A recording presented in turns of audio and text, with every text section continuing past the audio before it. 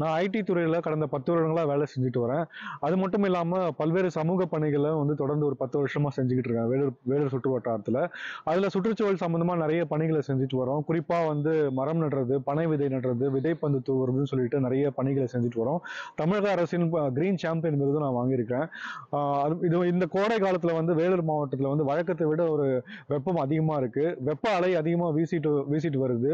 இந்திய வானிலை ஆய்வு மையமும் எச்சரிக்கை விடுத்திருக்காங்க.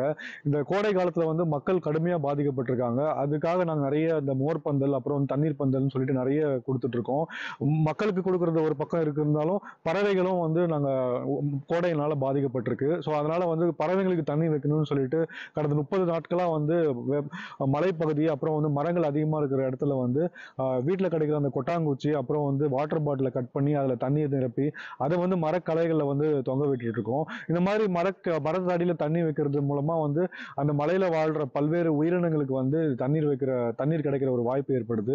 அதனால வந்து பொதுமக்களும் என்ன பண்ணணும்னா தங்கள் வீட்டில் கிடைக்கிற சின்ன சின்ன பொருட்களில் வந்து பாத்திரத்தில் வந்து தண்ணி வந்து வச்சு மொட்டை மாடியில் வைக்கும்போது நம்ம மனிதர்களுக்கு மட்டும் இல்லாமல் பொதுமக்கள் மட்டும் இல்லாமல் இந்த மாதிரி பல்வேறு உயிரினங்களுக்கு வந்து ஒரு ஒரு உதவியா இருக்கும். அதனால வந்து எல்லாரும் வந்து இதை முன்னெடுத்து செய்யும் போது தான் இந்த கோடை காலத்தை நம்ம வந்து வெற்றி வெற்றிகரமாக வந்து கடந்து செல்ல முடியும்.